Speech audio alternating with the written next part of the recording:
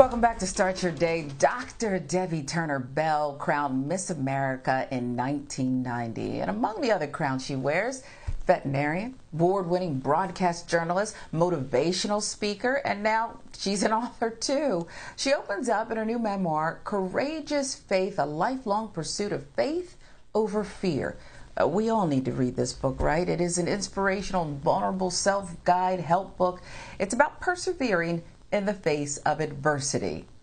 Here she is, Miss America. I hope we don't have to pay for that because sometimes you have to pay. We'd have to get a, you know, mm-hmm. copyright, pay a fine or something for that. Mm-hmm. Right, a copyright. That's what it is. Welcome, Dr. Turner Bell. And uh, we were joking in the break, but you still look like the crown could be atop your head. I mean, you haven't aged at all. You're beautiful, right? Mm. So thank you for starting your day with us, and congrats on the new book. I don't know how you have the time. Um, how did you do it, though? You've heard this question, right? Countless times before. After being crowned Miss America 1990, how did the little girl from Arkansas win that title?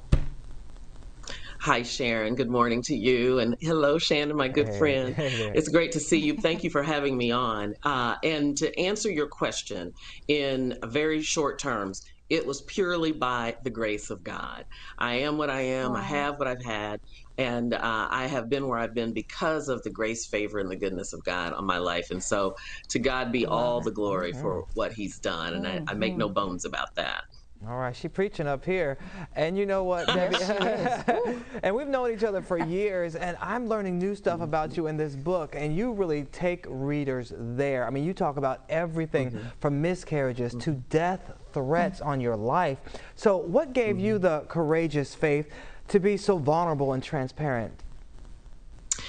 Well, I wanted people to understand that, first of all, we all in this human experience go through difficulties, go through setbacks and disappointments. And the difference between achieving success and the reason that we were placed on this earth and not is that courage to get up after you've been knocked down. And so I yeah. opened the book with the story of the lowest point for me during my pageant experience. It was after I lost the Miss Arkansas pageant for the third time. And I was laying in a fetal position wow. crying in my hotel room saying, God, I don't understand. Many thought that I was robbed, that I should have won that night. Uh, I thought I was going to win, and it just didn't happen. And as I laid there crying uh, as hard as I'd ever cried, up to that point in my life, mm. saying, God, this is not fair. Um, I heard a voice in my heart, and I know this can be controversial for some people, but I believe a great big God who can create a universe mm-hmm. can speak to his creation. And I heard in my heart, yeah. Debbye, I'm faithful. Now get up. Mm. And so wow. I got up and washed off the makeup, and I didn't know what was going to happen next. I didn't know if I'd ever become Miss America, but I knew that God was good. I knew that He was immutable and unchanging, and I trusted Him to direct my footsteps. And so that's really the heart of this book is that if we will believe that um, we can persevere, we can overcome adversity, we can use failure as building blocks towards success, uh, then we'll see that happen. And, and that doesn't mean that life is all great. And I share too mm-hmm. much information about the many ways that life has not been great for me, mm-hmm. but I'm living proof that dreams yeah. can come true, that God is good, and that you can overcome your difficulties if you have the courageous faith to get up. Thanks, yeah. Sharon. She's you trying know, to get us to cry and shout all at the yeah, same time. She is. I mean, Johnny fell out. All that, and you know, you're such a beautiful package, right? Mm. What we see. There's people who haven't yet read the book. Again, I encourage everyone to buy it and read it and save it and go back to it. Mm-hmm. But you, are such a, a wonderful exterior, right? Wasn't it important for you to share those losses too, not just that you were winning, winning, winning, for those who think that's all there is to it. But not everybody's going to hear yeah. that little voice that you heard that night, Debbye. Mm. Not everybody's going to hear someone say, Get up, faith. So, how do you encourage people that they too can activate their faith? Well, first of all, thank you for the compliment. I like to say a little makeup goes a long way, honey.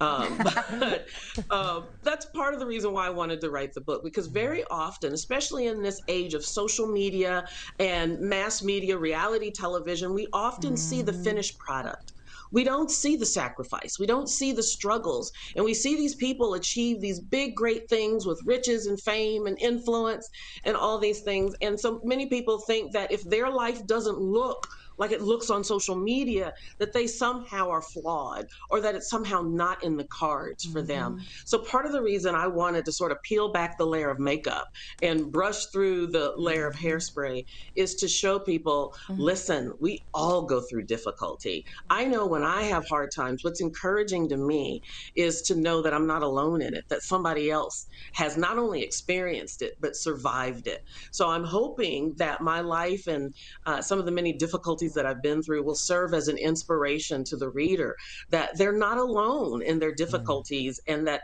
someone else survived it and lived to tell the tale, and that you can survive it and live to tell the tale as well. Now, Debbye, we only have about one minute left, but I want to go through a few of your empowering guide steps because you have 10 factors in the book that you lead the reader through on life lessons you've learned along your journey. So, can you share maybe just mm -hmm. three of those with us? Sure, I'd be happy to. I want people to know that, first of all, that you learn how to live by redefining what success is. Success sometimes is just surviving minute by minute. Don't always have such a long view. Eat the elephant one bite at a time. Next, the key to your well being and future success is how you overcome it. Uh, I love to say that success is built on a foundation of failures. That means you try, you fail, you learn, and you try again. And then finally, allow life's challenges to develop patience in you. Man, we live in this instant gratification microwave society that we want uh, rewards yes. right away. But the truth is, most things worth having take time and take mm. sacrifice. And the sooner we accept that and learn to just take it one step at a time, happier our lives will be, the more fulfilled we'll be, the more peace we'll live in, uh, and the more likely mm-hmm. we are to make it to those goals.